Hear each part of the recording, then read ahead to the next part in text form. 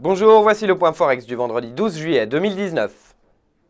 Le cours de l'USD Yen était volatile durant la séance d'hier, mais a finalement clôturé sans tendance, et ce, malgré la baisse observée sur le dollar américain. Dans la journée, la paire de devises pourrait reprendre une tendance baissière, dans l'attente d'une publication aux États-Unis dans l'après-midi. Ainsi, le franchissement des 108,13 devrait conduire le cross au contact du plus bas récent, à 107,53, voire sur le support à 107,32.